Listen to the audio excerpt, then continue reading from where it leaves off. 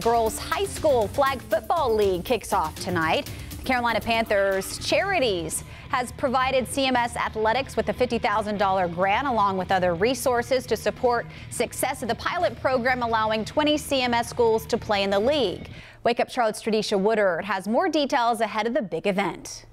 CMS New High School Girls Flag Football League kicks off tonight with 20 high school teams hitting the field. That's all thanks to a $50,000 grant from the Carolina Panthers. Each team will play two games as part of their 10 game schedule, with the league championship tournament on May 15th at the Bank of America Stadium. CMS Director of Athletics says there's been great strides in closing the gender gap. And while there's still more work to do, they couldn't be more excited to create more opportunities for girls in sports. The Carolina Panthers say they're hopeful this effort will also be a catalyst for sanctioning girls' high school flag football as a varsity sport in the future. It might look different from putting on helmets and the shoulder pads from when I played, but this is another entry point, again, to the game that I love.